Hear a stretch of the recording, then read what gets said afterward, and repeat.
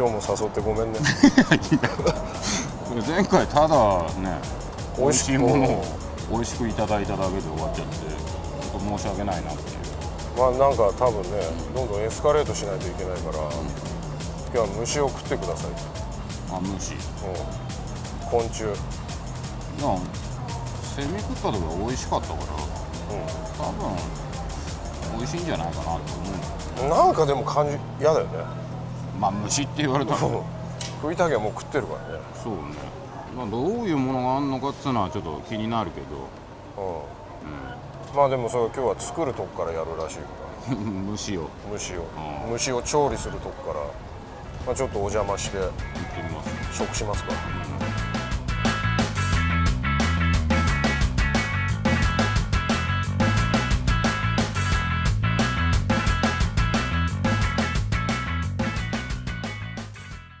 かつてあったあの日本食ですね。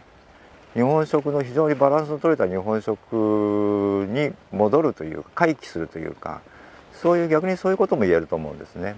まあ、いわゆる旬ですよね。旬の食べ物としてあの昆虫を捉えられれば一番こう分かりやすいかと思うんですけれども夏だったらセミが鳴き始めたらセミが美味しい季節に来ましたねとかですね。で秋になるとそろそろ蜂が食いてえとかですねあのバッタが食べたいとかいろいろそういう季節に応じて食べられる昆虫が変わっていくっていうのはすごく面白いですよね。なかなかあの昆虫そうたくさんいいいないわけでそのやっぱり蓄えておくことが必要だと思うんですね。でまあ一つの方法は夏例えばそのセミをたくさん取ってでその時はそのその貝に使ってで残りをできるだけ確保してであの冷凍して保存するとあのいう一つの方法があります。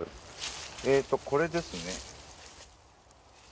これがあのカマキリオオカマキリのあの卵巣なんですけれどもこれ冬の間の家の軒下かなんかちょっと涼しい外に置いといてであの桜のちょうど咲く頃なんですけれどもその頃こう出てくるんですけどねちゃんとカマキリの格好して出てくるのであのなんだろう。ふりかけというかあのちゃさっと油通ししてであのお例えば豆腐とかですね冷ややっこでやっことかそこら辺乗せたりしてちりめんじゃことかねあんな感じのイメージですよね。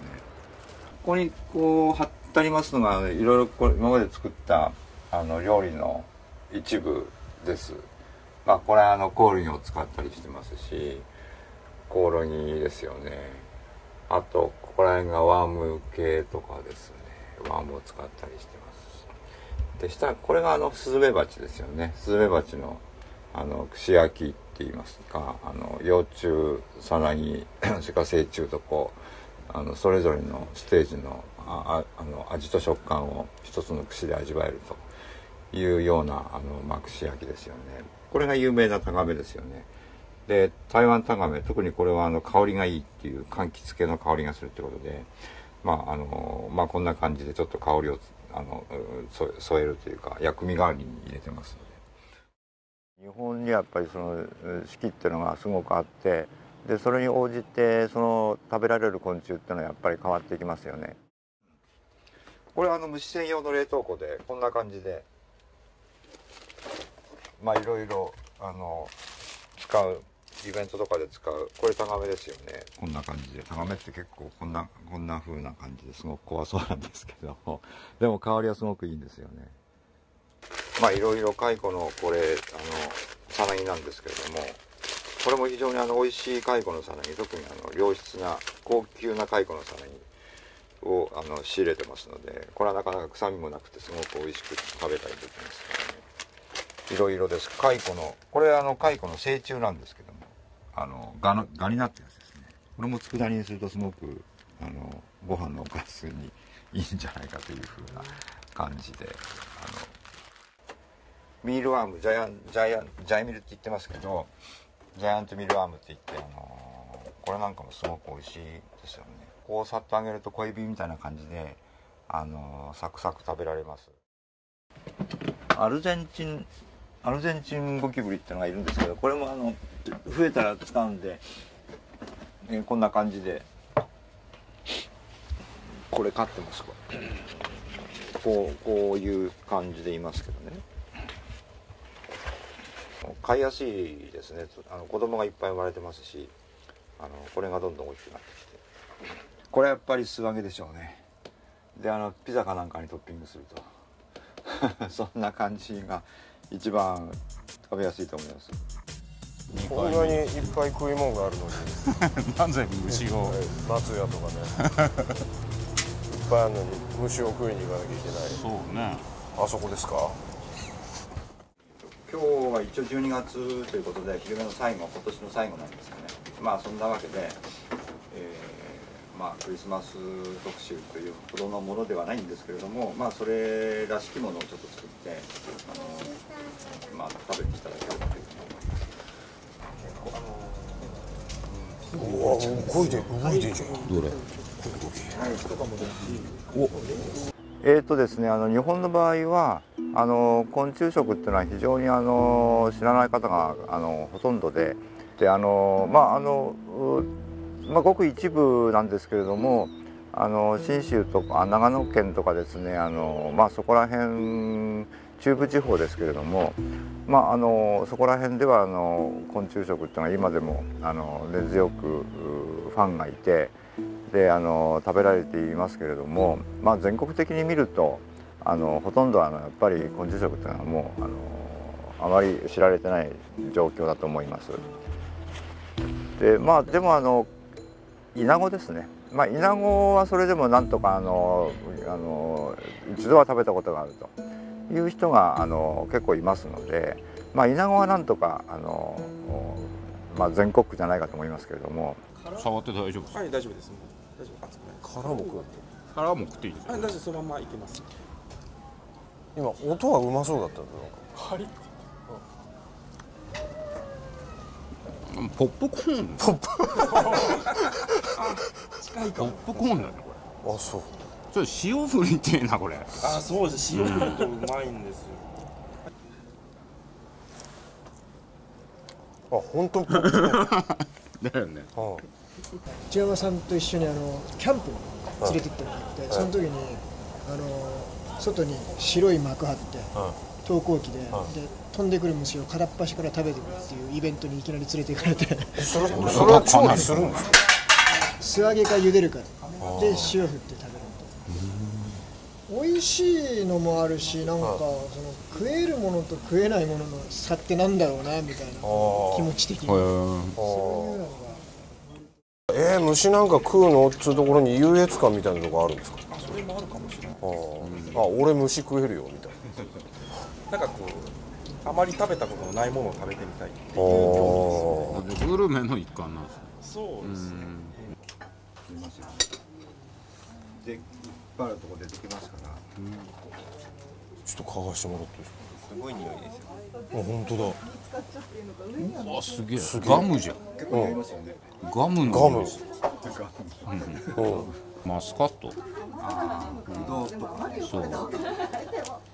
皆さんやっぱり初めての方結構多いんですけれどもあのーその気で来ますので。まあ食べる気で来ますのであのー絶対あのー積極的にあの料料理というか調理に関わってもらってますのですごくあのありがたいと思ってます。よーく見てク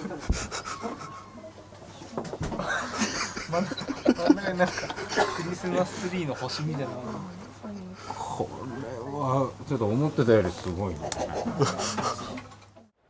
えーなかなか味を言うのは難しいんですけれどもうん例えばですねあのカミキリムシっていうあの甲虫がいるんですけれどもそれのあの幼虫はですねあのちょうどあの冬場にあの採集することが多いんですけれどもあの、まあ、冬眠中ってこともありますし非常にあの脂が乗ってですね美味しいっていうふうに言われてます。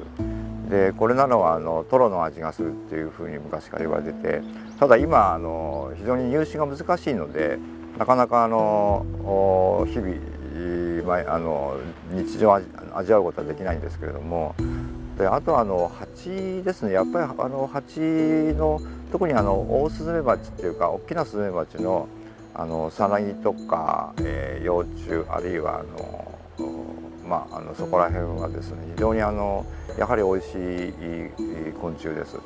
でさっとあの湯通ししてえしゃぶしゃぶ風に食べるっていう食べ方もありましてあのそれだとあのこうなんか白子ですよね、えー特にはフグの白子のような味がするというふうにも言われてますので、まあ、ここら辺も珍味まあでも蜂の方は比較的入手しやすいのであの毎年味わうことができると思います。先生これ見た目半端なくないですか？ちょっと乗せすぎね。これ半端ないですよねその辺とはね大盛りだ。先生はこれ見た目見て、こう率直にどう思います？いやなかなか贅沢な作りだと思います。いただきます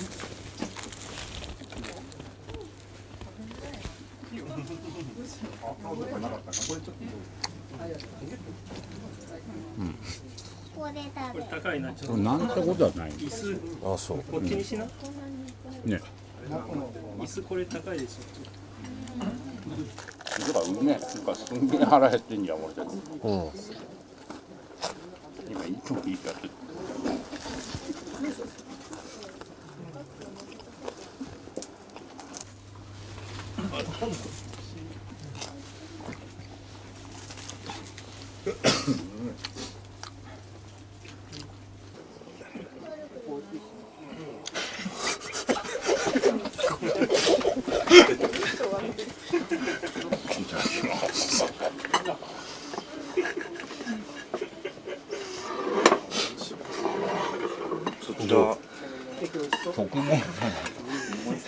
ムシムシしてる。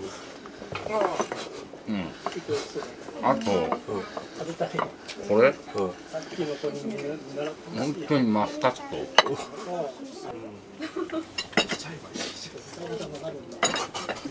なんか人が食ってんの見ると来るものあるね。エモい。えもくはねけなんだこ足足。れすっげえかせ多分あこれだこれセミ？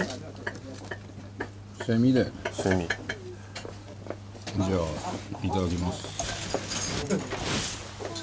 セミのケーキ。うまい。あそう。でもケーキがうめえあ。まりだからもうあのあれあれあまり辛いもん食うの？え？いって感じ。だこれはなんつうの？さっきのあのいやももうそういうんじゃうもないうそういうんじゃない。食い物だと認識できない。できなくなっちゃった。弱ってる川口って。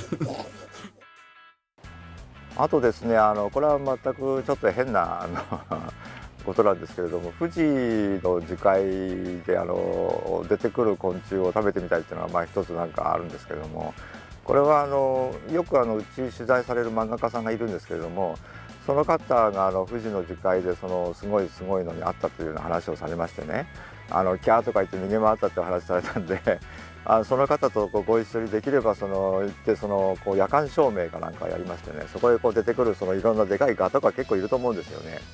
あの多分でかくて美味しそうな卵いっぱい入ったガがいると思うんで、まあ、そういうのを取ってですねあの食べるのはすごくなんか面白そうだなと思ってまあそんなことを今思ったりしてます。